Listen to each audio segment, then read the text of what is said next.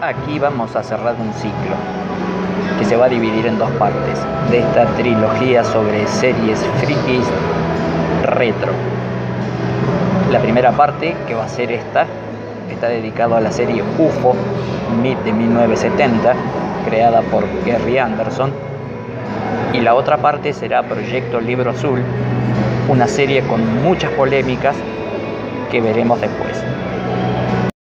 Gary Anderson fue el creador de grandes series de marionetas durante la década del 60, creó el concepto de Super Marionetation y también algunas series en live action.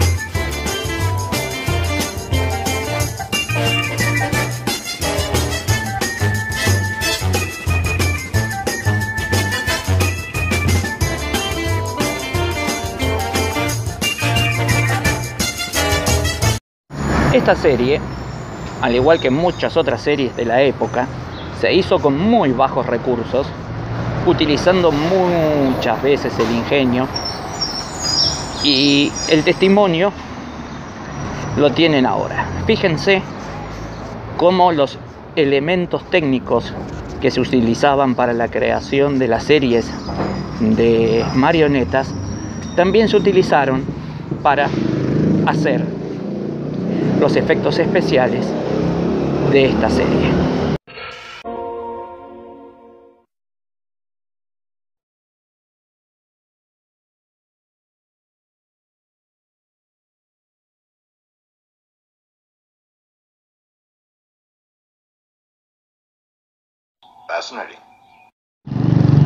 Bien, en 1970 la serie UFO, UFO, contemporánea de los invasores, veía al mundo como dicotómico, es decir, blanco o negro.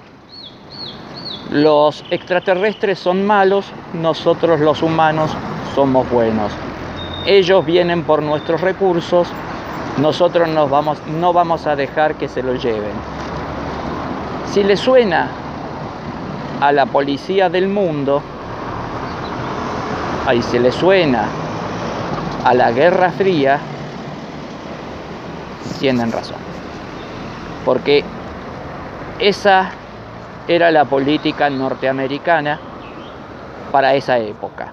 Ustedes fíjense en que hay tres series casi contemporáneas que tocan el mismo tema. Por un lado, los invasores. Por otro lado, viaje a las estrellas. Y por otro lado, UFO. Tres dos visiones negras y apocalípticas, es decir, UFO y los invasores, y una totalmente optimista como lo es Viaje a las Estrellas. Las tres en el mismo contexto.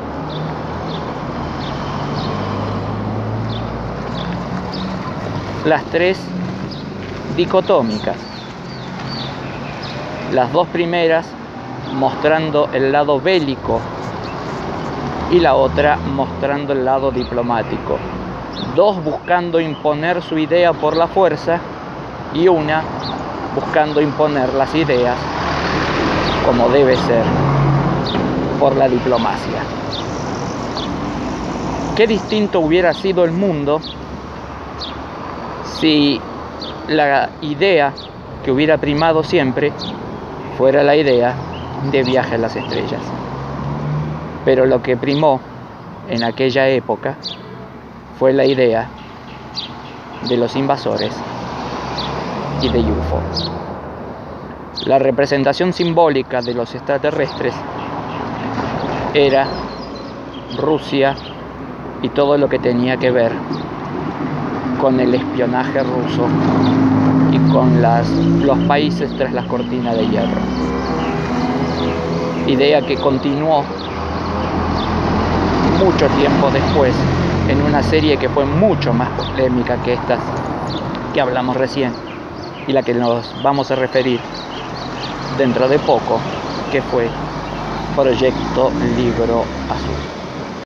Todo el video, danos un like, compartilo, suscríbete a todas nuestras redes sociales y recordá, aquí en Sin Efecto, suscribirte te hace bien y esto es el friquismo en estado puro.